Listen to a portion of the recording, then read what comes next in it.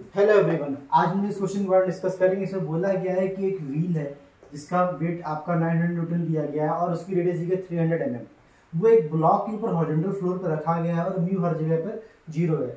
बोला गया कि पी की minimum value means what is the minimum value of P that block wheel is turn about the block a point A and just lifted the block उस condition पे P की minimum value बतानी कि जब यहाँ पे just lift कर रहा हो। तो सिंपल सी बात है हमें इसको ड्रॉ करने के लिए व्हील का बीडी बनाना होगा। तो व्हील का बीडी के लिए देखिए इसका वेट डाउनवर्ड डायरेक्शन में इसको हम लोग रख सकते हैं that is down nine hundred newton एक कॉन्टेक्ट रिएक्शन यहाँ पर आएगी दैट इज़ द आर एक रिएक्शन यहाँ पे इसके टेंजेंट के परपेंडिकुलर मीन्स कुछ सेंटर से पास होती हुई ये आपका यहाँ पर रिएक्शन आर ए आ जाएगा। सो so, अगर हम इसको ड्रॉ करते हैं वापस हमें मालूम है कि अगर जस्ट लिफ्ट कर रहा है जैसे लास्ट क्वेश्चन में था तो हम इसकी वैल्यू आराम से ले सकते हैं ज़ीरो के इक्वल सो so, हमने इसका एबिलिटी ड्रॉ किया।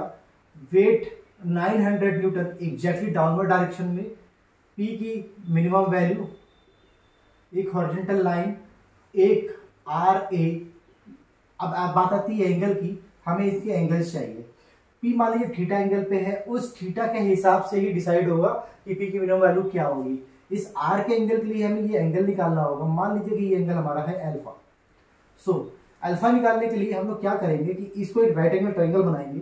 तो आप देखिए, एक व्हील का एक साइड ये जो रेडियस के बराबर है 151 फिफ्टी ब्लॉक की हाइट दी गई है।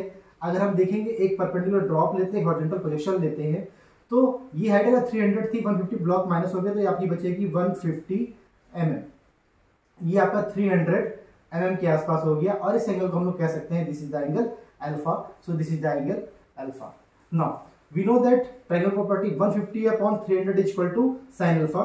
So, sin alpha is equal to 150 upon 300 definitely इसकी वैल्यू वन बाई टू या फिर यहाँ से हम लोग अल्फ़ा की वैल्यू मिल जाएगी 30 डिग्री तो लोगों यहाँ पर दे दिया एंगल अल्फ़ा की वैल्यू 30 डिग्री और किस थीटा पे हमें पॉसिबल है वो हमें निकालना है। ना अब हम लोग क्या करेंगे? हमारे पास चॉइस है, हम लामीस में अप्लाई कर सकते हैं। हमारी चॉइस है कि हम कंडीशन ऑफ़ इक्विलिब्रियम भी अप्लाई कर सकते हैं। तो मान लीजिए जब अप्लाई करते हैं so R A divided by sine ये 90 plus theta means 90 plus theta is equal to P की मिनिमम वैल्यू जो हमें निकालना है दिस वैल्यू सो ये 90 है और अल्फ़ा का 30 आ चुका है सो so ये आपका जाएगा sine 120 is equal to 900 divided by sine of alpha यानी 30 माइनस हुआ तो 150 बचेगा। तो ये एंगल जो हमारा बचेगा that is 150 fifty minus theta. I hope यहाँ तक बात आपको समझ में आई होगी। अब हमें क्या करना है कि हम ऑब्ज़र्व करें कि यहाँ से पी की मिनिमम वैल्यू के लिए ये आपको कांस्टेंट वैल्यू है। यहाँ पर आप कहिए हमें आर ए नहीं पता है। आप इन दोनों को इक्वल कीजिए। साइन 120 की वैल्यू कांस्टेंट है। 900 की वैल्यू कांस्टेंट है। सो so, पी की मिनिमम वैल्यू के लिए इसको मैक्सिमम होना पड़ेगा।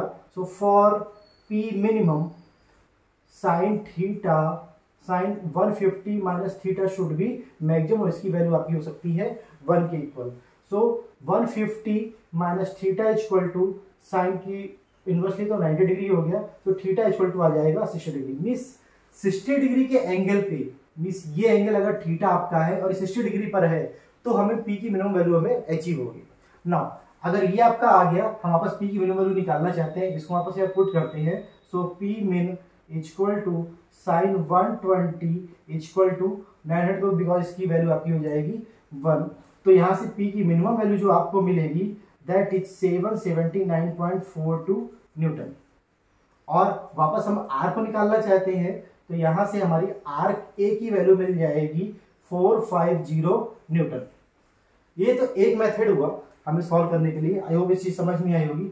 लेकिन अगर हम इसको किसी शॉर्टकट मेथड से किसी कंपटीशन एग्ज़ाम में आता है हम इसको निकालना चाहते हैं तो हम इसको क्या कर सकते हैं? सो so, मैंने आपको बोला है कि मूवमेंट की जो कंडीशन होती है वो बहुत ज़्यादा हेल्पफुल होती है। बस आपको पॉइंट चूज़ करना आ जाए कि किस पॉइंट के आउट हमें मूवमेंट लेना है। सो so, हम लोग क्या करेंगे कि देखिए इस क्वेश्चन का अल्टरनेटिव मेथड ए पॉइंट पर रिएक्शन हमारा भी इंटरेस्ट नहीं है वो बाद में निकाल सकते हैं। हम ए के अबाउट मूवमेंट ले ले तो हमारी नई कंडीशन एग्जिस्ट करेगी। सो so, देखिए ये डिस्टेंस आपकी है। हम इस डिस्टेंस को कुछ निकाल सकते हैं। ये 150 दिया हुआ है 300 दिया हुआ है यहाँ पे दिया हुआ है। तो इस ट्रेंगल को मैंने दोबारा ड्रॉ किया। ये आपका है 300 हंड्रेड mm ये आपका है 150 फिफ्टी mm हम इस डिस्टेंस को एज्यूम कर लेते हैं x so one fifty square plus x square equal to three hundred square तो एक्स की वैल्यू आपकी आ जाएगी यहाँ से two fifty nine point eight M M ना एक्स निकालने के बाद आप ए के अबाउट मोमेंट ले लो तो sigma M about A equal to zero clockwise forces का मूवमेंट जो हम लोग उसको पॉजिटिव एज्यूम कर रहे हैं। तो देखिए मैं ए के अबाउट मूवमेंट ले रहा हूँ। हमने ए पे अपनी फिंगर रखी। पी की minimum value clockwise so P की मिनिमम वैल्यू अब मिनिमम तब होगा जब मैंने आपको मोमेंट के लेक्चर में डिस्कस किया था कि ये आपकी शॉर्टेज डिस्टेंस तब होगी जब इसके परपेंडिकुलर होगा।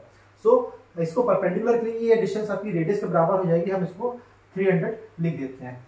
नाउ 900 बॉडी को एंटी क्लॉकवाइज घुमाएगा सो माइनस में 900 इनटू ये डिस्टेंस जो हम लोगों ने एक्स निकाली है 259.8 इज़ इक्वल टू ज़ीरो क्योंकि आर यहीं से पास हो रहा है और ये आर की वैल्यू आपकी ज़ीरो आ रही है। सो so, आप यहाँ सॉल्व करेंगे तो पी की मिनिमम वैल्यू जो आपको अचीव हो जाएगी अगेन आप क्रॉस चेक करेंगे 779.42 न्यूटन आएगी जो पिछले वाले क्वेश्चन के हिसाब पिछले वाले मेथड से सेम यही वैल्यू आपकी आई थी सो so, आप इस तरीके से भी क्वेश्चन को सॉल्व कर सकते हैं जो पी की मिनिमम वैल्यू पूछा गया। अगर आर बोला गया तो आपको तो फिर ये सॉल्व करना ही पड़ेगा। ओके तो थीटा डिग्री यानी कि 60 डिग्री पर ये आपका मिनिमम वैल्यू अचीव होगी। अगर मान लीजिए आपको करना है जो क्वेश्चन फॉर द होमवर्क क्या है कि आपको इस पी को एग्जैक्टली हॉरिजेंटल करना है। ये फ्लोर है इस पी को हम लोगों ने हॉर्जेंटल रख दिया। और इस पी की वैल्यू बतानी इस कंडीशन में, अपने आंसर आप लोग कमेंट बॉक्स में भेज सकते हैं।